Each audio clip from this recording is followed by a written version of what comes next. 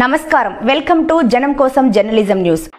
హన్మకొండ జిల్లా పరకాల పట్టణ సమీపంలోని లలిత కన్వెన్షన్ హాల్లో తెలంగాణ రాష్ట్ర ఆవిర్భావ దశాబ్ది వేడుకల్లో భాగంగా ఈ రోజు విద్యుత్ ప్రగతి కార్యక్రమాన్ని నిర్వహించారు. ఈ కార్యక్రమానికి ముఖ్య అతిథిగా Warangal ZP chairperson Gandra Jyothi Parakala municipality chairman Sodha Anitha commissioner Seshanjaneyulu Parakala ACP శివరామయ్యతో పాటు విద్యుత్ శాఖ అధికారులు పాల్గొన్నారు.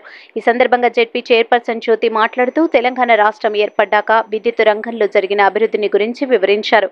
తెలంగాణ రాష్ట్రం ఏర్పడక ముందు విద్యుత్ కోతలతో రైతులు ఇబ్బందులు పడేవారని తెలంగాణ రాష్ట్రంలో ఇరవై నాలుగు గంటల ఉచిత విద్యుత్తు తీస్తున్న ప్రభుత్వం బీఆర్ఎస్ ప్రభుత్వం అని కొనియాడారు. విద్యుత్తు రంగంలో తెలంగాణ రాష్ట్రం ఎంతో పురోగతిని సాధించిందని పేర్కొన్నారు.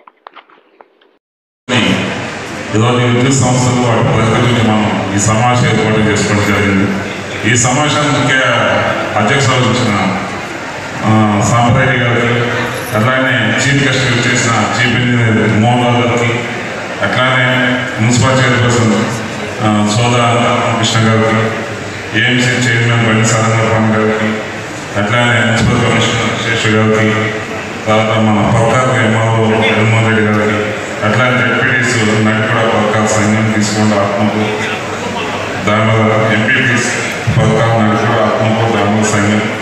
Vice municipal vice chairman Jayapal గారికి వైస్ చైర్మన్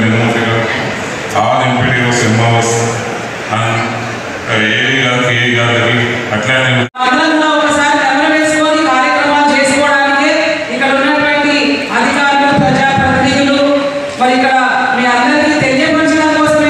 ఈ సభ ఏర్పాటు కార్యక్రమం ఏర్పాటు చేసుకోవడం జరిగింది. నియోజకవర్గ స్థాయి కార్యక్రమాన్ని ఇక్కడ పెట్టుకోవడం ఈ కార్యక్రమానికి మరి సభాధ్యక్షులు వహిస్తున్నటువంటి సభాధ్యక్షులు ఈ కార్యక్రమంలో పాల్గొన్నటువంటి సోదరిమణి మున్సిపల్